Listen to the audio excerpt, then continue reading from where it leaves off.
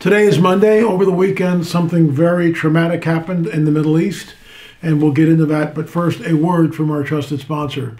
Hey folks, investing feels overwhelming right now, doesn't it? So complicated, so many decisions, but leaving your money in the bank mm, might not be the best thing to do. It's losing value every single day. All we need to do is look at the inflation index to see uh, the reality of that. So if it's stressing you out and driving you nuts, why not invest smarter with Noble Gold Investments? Precious metals are simple and real. There isn't a company on the stock market that was around 2,000 years ago, but guess what? Gold was. It's always been there through wars, disasters, and turmoil. Reliable, dependable, and authentic. That's why you can't go wrong with precious metals. They've always had your back. Noble Gold Investments America based experts will show you how to set and forget your IRA or 401k. You'll get a dedicated professional assigned to you. No hassle, no call centers. This month, Noble Gold Investments is giving a free quarter ounce gold standard coin with every qualifying IRA investment. Visit noblegoldinvestments.com to claim your gold coin. That's noblegoldinvestments.com. Folks, we invested a couple of years ago, and I got to tell you, I am really glad that we did. Gold is going through the roof. Once again, that's noblegoldinvestments.com before I get into today's uh, into today's message, I just want to thank uh, Pastor Greg up in Guthrie. It was a great conference. Thank you all for coming out.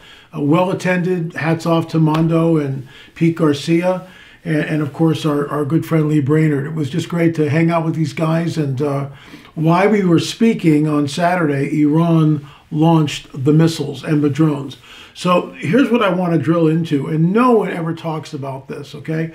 And this is a quote that the Holy Spirit gave me years ago when I was writing Politics, Prophecy, and the Supernatural. Here's the quote, and it came from the Lord. I'll never forget it. I was writing this book, it was my first nonfiction book. I had just finished up the Nephilim trilogy. And so um, I'm, I'm working on the chapters, and all of a sudden the Lord just just gives me this this incredible quote it's it's and I've never heard anyone really talk about it like this. And that quote is this: "The current political landscape is in direct correlation to supernatural events that happened in some cases millennia ago." I'll say it again because it's a mouthful. And I remember when the Lord gave this to me, I immediately stopped what I was doing, just started typing it in, and, and, I, my jaw was on the ground. The current political landscape is in direct correlation to supernatural events that happened in some cases millennia ago. Let's walk through it. In Israel, it's now it's a secular state, I get that. But it's based on Israel, the Jews that are there. The reason why the whole Jewish religion exists is because of supernatural events that happened millennia ago, thousands of years ago. Moses receiving the Ten Commandments, the prophets, the law, all the prophecies that we see in the in the biblical prophetic narrative, they happened thousands of years ago. That those specific supernatural events have colored the body politic in Israel. Conversely, thousands of miles away, or 1,200 miles away, in Iran, a different set of supernatural events occurred about 1,300 years ago with the Prophet Muhammad. I'm not going to sit here and weigh and talk about each one. I'm not going to do that. But that supernatural event with Muhammad is what we're looking at today. A different set of supernatural events have colored the body politic in Iran. And what we see is this unbelievable tension between the two. Folks, it's not going to go away. Um, today is Monday, as I said. I think we're going to see some sort of retaliation from Israel. I hope not. I wish this whole thing will, will somehow calm down. But here's what I want you to understand. In the guidebook of a supernatural, which I call, which is the Bible, in the guidebook of a supernatural, there are prophecies. One of those prophecies, and I tip my hat to my good friend Bill Salus. Bill Salus has been talking about this for a long time. Look up Jeremiah 49. Look up. Jeremiah 49, and read down towards the end. Because Elam is present day Iran. If Iran gets a nuclear warhead, with a delivery system. In my opinion, they will use it against Israel. So, what we're looking at is a very existential threat to the tiny nation of Israel. And it's just amazing. The vitriol, the hate stems from two different supernatural events which have colored the body politic. That's a big mouthful. Folks, I'll, in fact, I will say, I will just end by saying this that um, pray for the peace of Jerusalem, pray for the peace uh, in Iran, pray that cooler heads would prevail. However, I will say this what was written will come to pass, what was foretold is unfolding right in front of us. And that, of course, is the biblical prophetic narrative.